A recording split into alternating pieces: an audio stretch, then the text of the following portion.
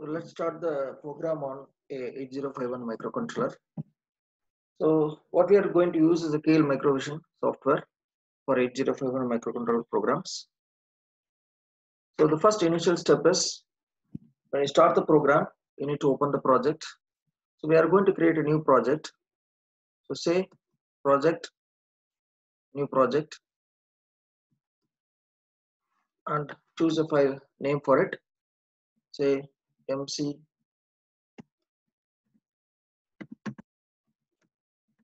experiments. I give an MC experiments and give save. And here we are going to choose Atmel microcontroller. These are the set of other processor or other microcontrollers uh, which is available or these are the different vendors which provide their own microcontroller devices. So here we are going to choose Atmel and in that there are different versions. We have Atmel starting with 48801 and here we are going to use Atmel 89 S8252. So I'm going to choose say 89 S8252. So these are the features of that particular 89 A2 S8289 S8252 microcontroller. So we can see the features of that corresponding microcontroller. Uh, obviously, microcontroller is an 8-bit microcontroller. So we have 32 IO and 3 timers and counters and 9 interrupt sources. These are the additional features of the microcontroller having watchdog timer and 2 DPTRs as well and uh, flash memory and EEPROM is present and it has 256 bytes of on-chip RAM. So I've chosen it and give OK and say and this stays about uh, creating a startup file. So you can give yes, yes. So you can see that a startup file is being created for the corresponding .8 A51 microcontroller. Now we are going to type a new program. So for that, I'm going to create a new window. I'll say file new. And presently I'll open a program which is being already typed.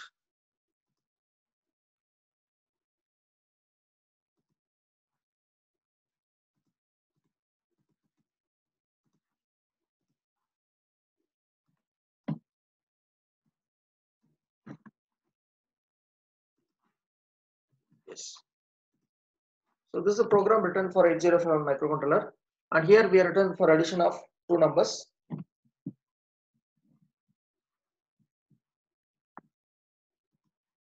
So here I'll just give a first explanation about this program.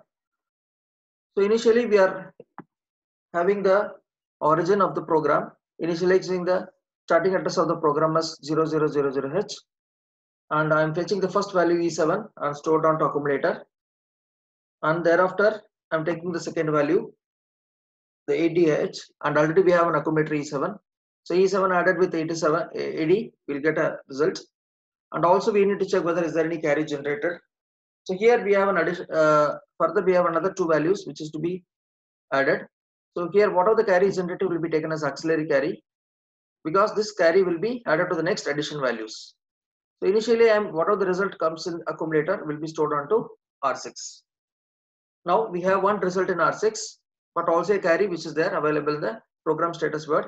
Uh, initiating that if the carry generates or uh, it will be stored as auxiliary carry setting it to 1 if there is no carry it means auxiliary carry will be 0 so if there, if at all there is a carry it will be added with c plus b plus 1 so here again we are fetching the next value 3c stored onto accumulator and then the second value is taken 3b added with the 3c value or also with carry. So that is why i have written as add c that is add the two values with the carry.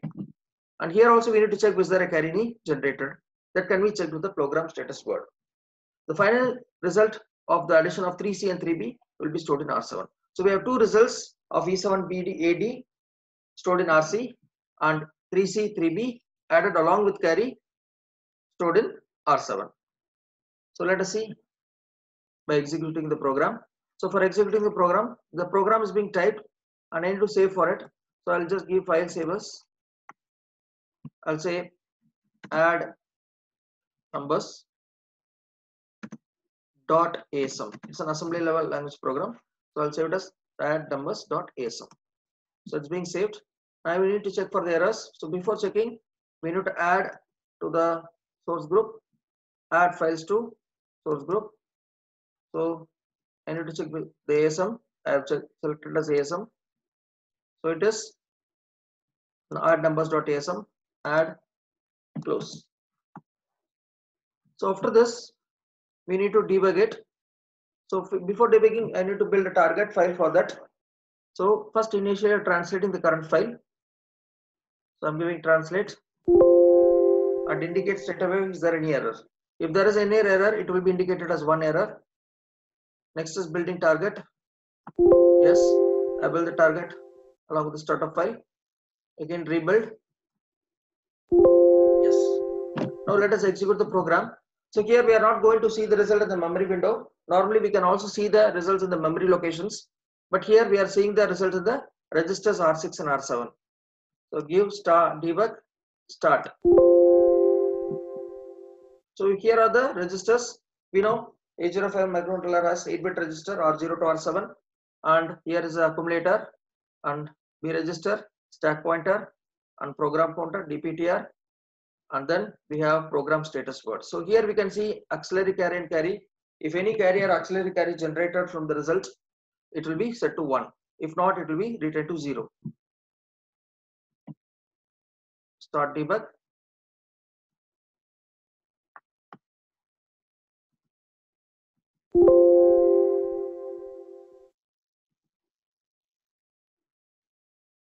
Already I given start debug.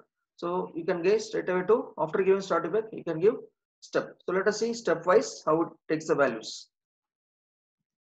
So we know that initially the program is initiated to 000h and then the value E7 stored at accumulator. You can see here the value E7 is stored into the accumulator.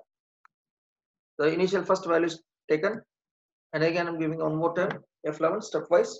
So E7 added with AD will get 74 as well as a carry. The whatever the result comes from the E7 AD for R6 register will have the result is 74 with the carry. As well as as we are going to do further addition, that value is also going to be taken as an auxiliary carry for the next higher byte values. So what we are done is lower byte values. So let me do now you can see the result in R6 the initially the result is available in accumulator only that is AD added with E7 generates the result of 74 which is available in accumulator again that is your AD value is replaced with the value of 74 which is obtained after the addition. Yes, now we can see that the value their result 74 is being moved on to R6 register. Now further we are going to take the next higher byte values 3C and 3B. So again 3C is loaded onto accumulator and the previous result please make sure that it is, it is still available in R, R6. So next value 3C is loaded onto accumulator and again 3B added with 3C along with carry. So if you want I'll show you. You can see E7 added with 8D gives 74 with a carry. So that is what is taken as auxiliary carry. Now 3C plus 3B gives 77 plus 1 carry will be there. That is auxiliary carry taken from the previous result. So that will be taken as 78 or we can check like this C that is lower order value C plus B is 17 plus 1 carry is 18. So 8 is the result for C plus B. Sorry, 18 is the result along with the carry. So after putting the lower value as 8, there is a carry generated from there. So that is taken to the next value. 3 plus 3 is 6, 6 plus 1 is 7. So that is how it is obtained. So I'll do it again. So 3C plus 3B plus 1 auxiliary carry. So it is the result is 78. So you got the result also in 78. Still again we are going to check the result. We can see that Is there any carry generated? No, because there was no carry generated from 3C plus 3B, so carry is 0. But this accelerator carries a previous value result or so finally the end result is obtained from R6 and R7 as 74 and 78.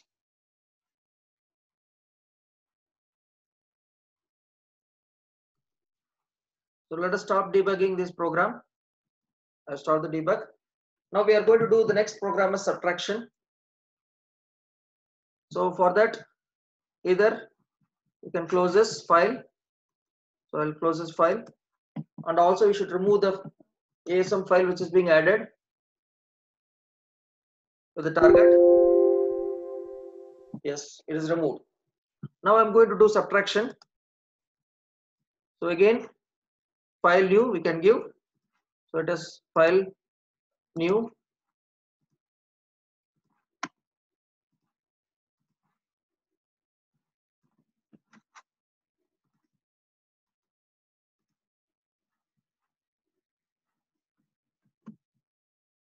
So let me save the program. File save as sub numbers dot asm save So we know the steps again. We need to add that files to the source group as .asm sub numbers at close. Let me check for errors. Yes, there is no error. Build target, rebuild target.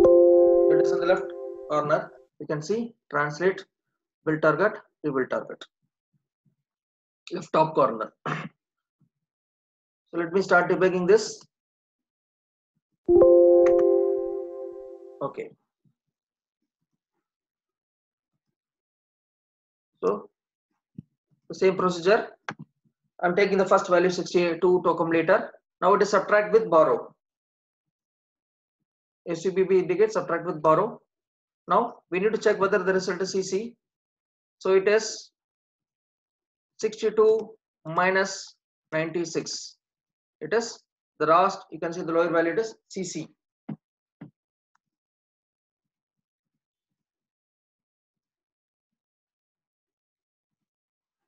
so we have obtained the result as cc in the accumulator.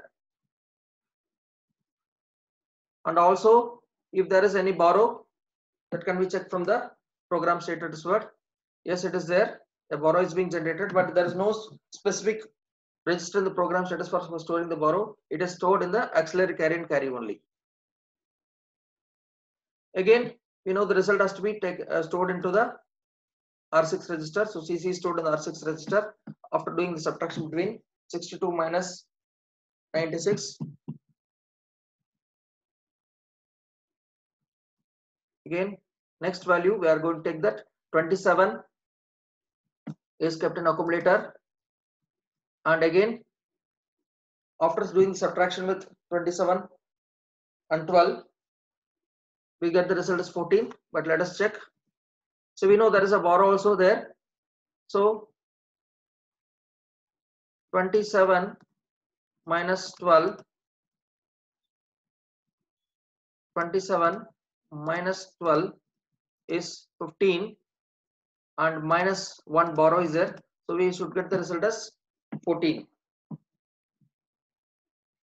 or 7 minus 2 is 5 and we have a borrow minus 1 4 and 2 minus 1 is 1 2 minus 1 is 1 or straight away say this 27 minus 12 is 15 minus 1 borrow is 14 so now we can see there is no borrow generator from this result. So we can see that it is 0. So the end result is stored in again in R7. So we have RC is 6 SCC and R7 is 14. So this is the program for addition and subtraction of two numbers.